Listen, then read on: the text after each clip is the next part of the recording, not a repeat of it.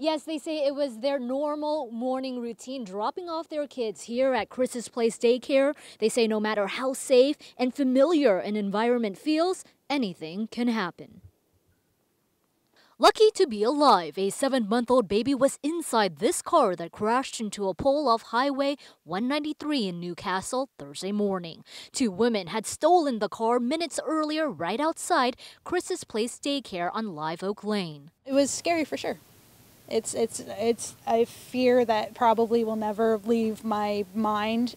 Parents Korrall and Elijah Atkinson say it was a living nightmare to see the car speed away with baby Asher inside.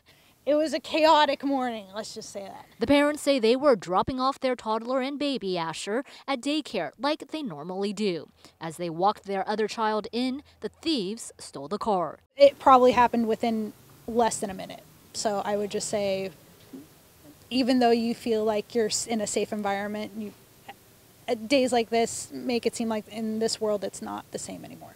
So definitely just be more aware.